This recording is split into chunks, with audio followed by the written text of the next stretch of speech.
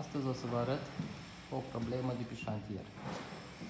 Aici avem un spațiu unde se renovează, iar băieții din greșeală când au dat pe camerul au spart uh,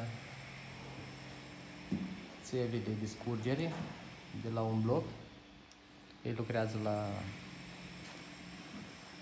la parter, cum ar veni. Și uitați, cum au rupt țeava. Acum noi o să punem alte țevi din alt material și o să vă arăt cum, cum facem noi și cum o să iasă la sfârșit.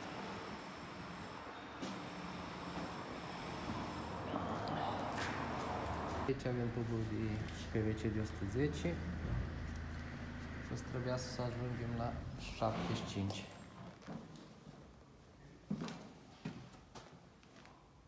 Și o să facem școala de sus, la 160. O să-l punem la 120. Primul tub l-am pus. Acum o să facem reducții de la 160 la 125. Cam așa au ieșit tubii.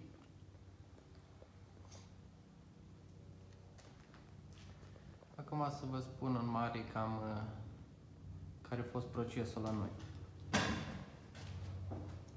La noi sus, acolo, după cum vedeți, a fost rupt. Și tubul care l-am pus acum de 160, l-am încălzit puțin pentru a intra bine acolo și a habita bine. În partea cealaltă am pus un tub de 110 am pus foliere ca să țină, să nu fie probleme. După aia am pus o reducție de la 160 la 125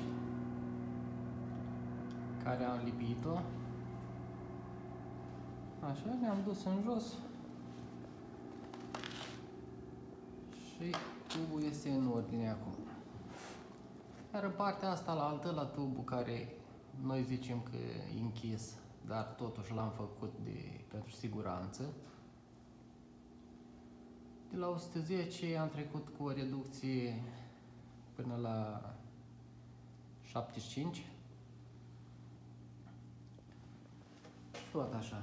Am izolat puțin cu silicon. Sus în partea aia am pus mai mult silicon. Dar asta a fost soluția care am găsit-o noi pentru a face această scurgere. Păi, sper să vă fie de folos acest clip. De acum o să mai postăm uh, și alte clipuri cu probleme de pe șantier. Mai mult uh, în domeniul de instalații sanitare acum o să fim, momentan. Așa că până data viitoare, toate cele bune.